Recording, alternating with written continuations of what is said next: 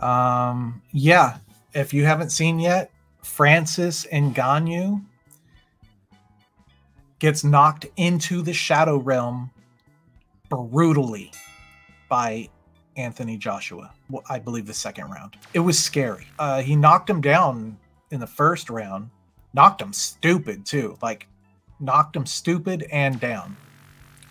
And then I think that they kind of danced around and were measuring each other in round one. And then in round two, pretty quick right off the bat, Anthony knocked him down again. And then Ngannou gets back up, and you could see in his face he's not all there. And the ref checks his gloves, checks to see if he's holding his own weight. He was. So the ref steps back. Anthony steps back in, right in the temple. Bah! Knocks Francis Ngannou cold out. Cold out. The coldest knockout I've ever seen in my entire life. Uh, it was brutal. Ngannou laid there for a good two minutes. What was scary was medical surrounded him, and then more medical surrounded him, and th- they kind of got scared for a moment. You know, they're not going to show you that or focus on it in the promotion because that would disturb too many people. Francis Ngannou ain't going to be the same. Mm-mm. Mm-mm. Remember when Chandler kicked Tony Ferguson in the chin, knocked him out nasty cold for a couple minutes? It was the same kind of knockout. Francis Ngannou was out before he hit the canvas. It was bad. Really, really, really bad. Kind of like he knocked out Stipe. But this is going to teach Francis um, redemption because that's what your life turns into when you um, run into something like this. So he's going to have to rethink his goals and his plans because I, this definitely wasn't part of his goal or his plan. It was an interesting card to begin with. There's a lot of power and money behind these fights. Joshua looked he looked like he felt bad. Honestly, he looked like he felt bad. He did not like that. He ended up like praising Ngannou and showing really good sportsmanship. And then when Joshua was addressing the crowd, he was like, "Where's all the Cameroonians at?" And I feel like all the Cameroonians were still in the audience, like, Ooh, just completely mortified at what they just saw. Francis woke up, stood up while Joshua got his hand raised, but he still wasn't all there. He was stumbling out of the out of the ring. His faculties definitely weren't there. He didn't know where he was or what was going on. Pretty gnarly.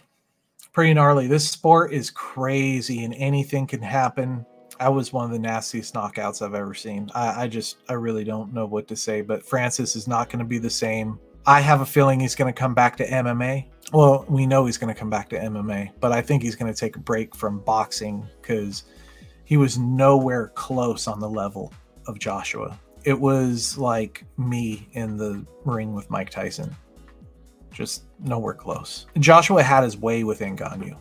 Ngannou was like a toy in there. And it was kind of strange too. I would love to know Joshua's mentality on this, what he's thinking about it, because like he knows things we don't know. He said in his uh, post fight interview that he thought that this was just like a spectacle, like a, you know, like Conor McGregor and um, Floyd Mayweather. But then he saw him fight Tyson Fury and saw him knock Tyson Fury on his back. And he was like, oh, this guy can fight. So he was like, I'll take that. I'll take that challenge. But in his head, he's like, this guy is nowhere on my level. And so, you know, he was just kind of going with the flow. But I think reality may have kicked in. And he's like, man, I am levels above this guy. And he knows it. Like Anthony Joshua knows it. And Francis doesn't know it Francis thinks he's on my level and he just pieces him up. And then he has to make an example. He's the guy. He's the guy that has to make an example to show that there's levels to this. And you're just not going to come in off of MMA and claim the crown of boxing. I think that was the message. and it was read loud and clear. We got the message, Anthony Joshua. And I think that, I mean, I'm interested in, I'm more interested in boxing now. Now that we see that, like, how deep the levels go. Wow. That guy was,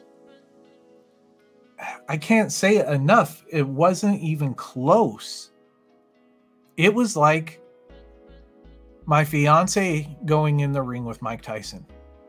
That's what it was like and Ngannou is my fi- my fiance. Um, that felt weird to say. I'm gonna end the video here before it gets too weird. Chris out. Yeah. Thank you for kicking in with MMA Flex and Chill. Chill. If you're new to the channel, go ahead and subscribe. Ring the bell, ring